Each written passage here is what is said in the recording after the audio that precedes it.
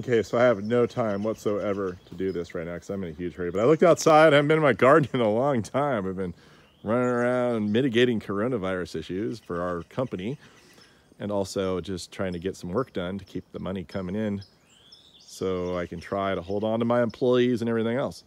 So, uh, but look, look, look, look, look, look, look, look at that beautiful red. What is that? Can anybody tell me? I'll tell you.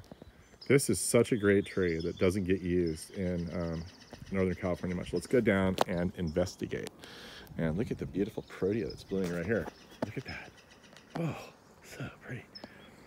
All right, I'm gonna try not to get sidetracked here. So here's my totally unmaintained garden. This is what gardens look like when you plant all the Gary Gragg style stuff and then you walk away from it. you turn your irrigation on and walk away. I don't even think we've done weeding. There's just weeds everywhere. Um, that beautiful brandegii. Anyway, okay, getting closer and closer and closer all the time. What do we have here, friends, family, and uh, anyone else watching? This is Erythrina sykesii from Australia. And uh, you can see down there, it's got kind of a grayish bark. I've let it turn into a multi-trunk. In fact, I've done nothing like the rest of this garden. I'm kind of famous for doing nothing after I plant all my plants. Let nature take over. Um, this is what I'm about to, this is going to be my tripod. This looks a little sketchy, but I'm going to do it anyway. Uh, uh, uh, oh, did it. Uh, does that get me any closer? There's no flowers on this side. Okay, there's one up there, but the lighting's really bad. Whoa, this is not going to work. okay, enough of that. Well, here's a more solid rock. Okay, uh, yeah, it makes this beautiful coral like flower right there. Can you see that? I can't really see it. Um, there's one, let's see, there. And uh, it goes kind of deciduous right now. It's uh, April, so you can plant on these things growing in April. We don't, this tree doesn't get any water at all. I planted a bunch of these trees at the Oakland Zoo many, many years ago, and they also don't get any water. If you look at the parking lot at the Oakland Zoo, that's all my doing. And you can see that uh, those trees are just parked in the asphalt in there, and there's, I believe there's no irrigation or anything uh, next to those trees. Let's keep walking around, see if we see any more opportunity for good angles on this tree. Um, it has sort of a triangular shaped leaf Let's cruise through here. I really need to spend time in this garden. Um, oh look, here's a flower. It's pretty close up. Oh, here's a, here's one here. I could probably grab this one, or can I? That's a little too tall. Can I get that? You think I can reach up and get that? Oh, got it, got it, got it, got it, got it. Look at how pretty that is. Come on, guys. Come on. Why is this one not used in Northern California? What? Are you kidding me? Why not? Why not?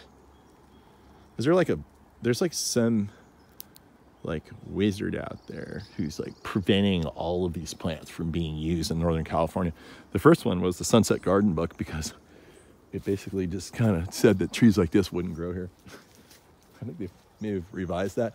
That used to be the end all information source for plants. And whatever they said uh, would survive or not, uh, garden centers would only buy the things that they would say that would survive.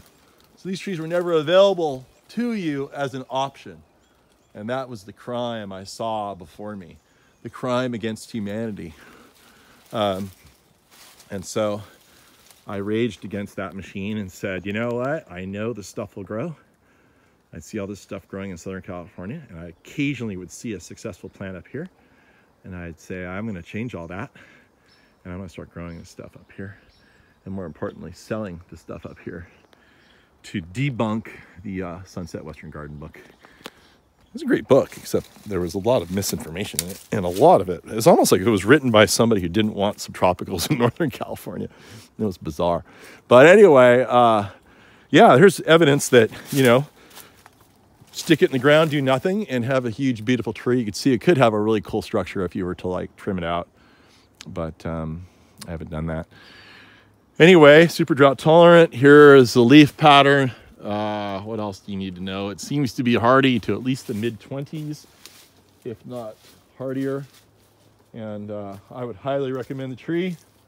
There's a bunch of other coral trees too. Coralloides. Um, what else? Bidwillii, uh. crista-galli, it's a beautiful tree. It's native to Brazil. But the problem with it is it just looks completely brown in the winter, which I think is kind of ugly. And um, yeah, so I wouldn't recommend that one. And look, here's my 9-11 memorial of what's left. I had all these pieces here. I forgot all about this. I put this in 19 years ago on the day after 9-11 happened. And uh, it was basically meant to symbolize the towers. I only had one tower, but maybe this is uh, before the second tower fell. This is the second tower before it fell. And those are the remnants of the first tower down there, and those are all the buildings around it. But anyway, I had all those pieces, and I just came out to console my grief and build that. Maybe I'll fix that up again someday. But uh, anyway, this is Erythrina sykesii from Australia. But a really beautiful lime green coloration, punctuated by the beautiful red flowers in the tree. Of course, the birds love it. And I hope you have a great day. Try not to breathe when you're out there. And if you do, run off into a corner somewhere where there's no one around. Take a deep breath, then re-enter.